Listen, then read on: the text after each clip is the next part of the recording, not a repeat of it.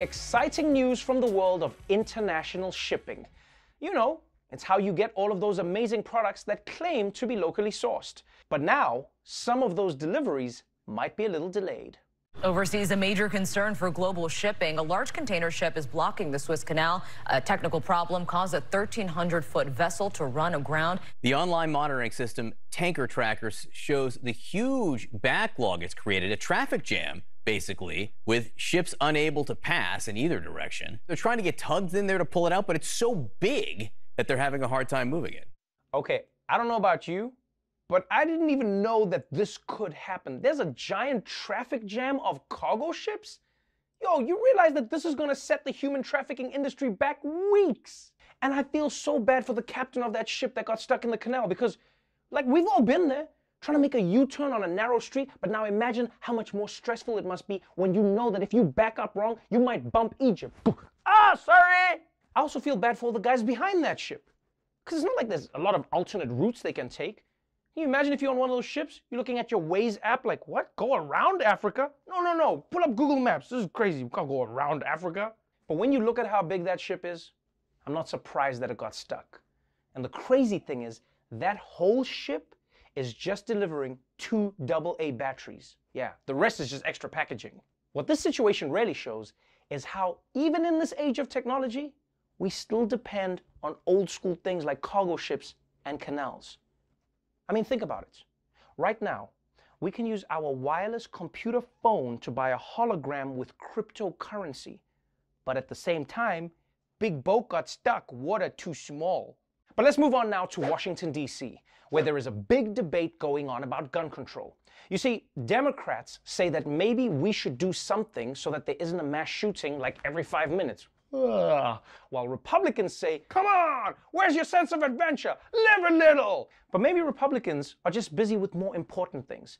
Because if you watch conservative media right now, you know that at this moment, we are living through one of the biggest scandals in American history.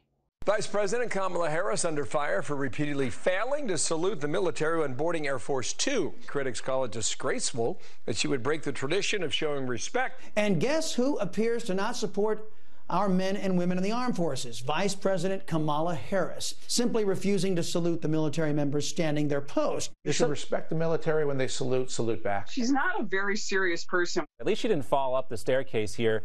Uh, but Bernie, the lack of respect here uh, from Kamala Harris, you know, I think is jarring for a lot of folks. For her to walk by them and not return their salute is just, it's outrageous. It's outrageous.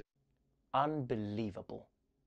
Kamala Harris, vice president and woman who is one strong gust of wind away from shattering the glass ceiling, did not return a salute. This is outrageous and dangerous, my friends. Because what if, what if Cuba invaded America and the Marines couldn't fight back because they were still waiting for Kamala to return their salute? I tell you who would never do this. My man, Donald Trump. He loved the military so much that he would salute other countries' troops. That's respect. Yo, but for real though, in case you're wondering, there's no actual rule that the vice president or the president are supposed to return a salute. This is just something that Ronald Reagan started, like the crack epidemic. And once he started, nobody wanted to be the one to stop.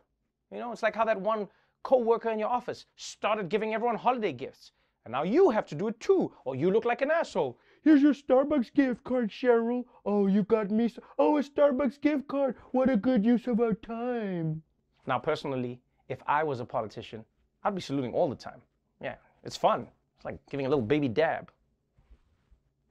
Like, people, if we're honest, if Kamala Harris doesn't salute, I don't think it's the end of the world. In fact, if anyone is disrespecting the military, it's the people on TV talking about the troops like they're crybabies. Make it seem like they're out there crying, like, oh, I was waiting to salute when the vice president came, but when she walked by, she didn't salute me. So I saluted for nothing. And finally, some technology news out of Utah, the only place where Mitt Romney is considered a renegade. Utah has always been one of the most conservative states in the United States, but now they're taking it to a whole new level. Utah is a step closer to requiring all cell phones and tablets sold in the state to automatically block pornography after the Republican governor signed legislation yesterday that critics call a significant intrusion of free speech. Governor Spencer Cox said the measure would send an important message about preventing children from accessing explicit online content. The measure won't go into effect unless five other states enact similar laws, a provision that was added to address concerns that it would be difficult to implement. That's right. Utah's governor knows that porn doesn't belong on phones and tablets. It belongs on laptops like God intended. I mean, sure, it's a little bit harder to take it into the bathroom and try to balance it on the sink, but that's just part of the excitement. Seriously, people, this is pointless. Even if Utah did successfully ban cell phone porn, it wouldn't make any difference, all right? People are horny.